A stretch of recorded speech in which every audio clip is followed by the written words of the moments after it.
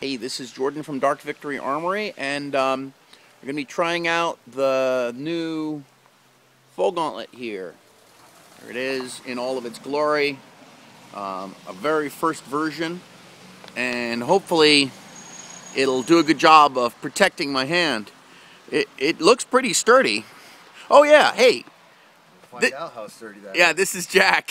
Yes. Jack Jack's my cutter and my my awesome friend who's been helping me make armor for God, what is this? Is it Five, Five years? years. Six, years, something like that. Years. Long time. Anyway, so I'm gonna stick my hand out holding this ball oh, peen Yeah, I've- I've- hammer. I volunteered to hit you. Yeah, yeah, and I, I give you permission to hit me. So what I want you to do is to just kind of wail on my hand. You want to start off light? Yeah. That's fine. I have a work glove under this. Yeah, that's not bad. Okay, you can hit me a little harder if you want to. It's fine. Yep, that's no problem. I wish I had a padded glove. You know, the work glove, I could definitely feel the shots, but I mean, it's doing a reasonable job of protecting me. Yeah, hit, hit me on the backside here. Yeah. All right, that's good. Well, um, so far so good.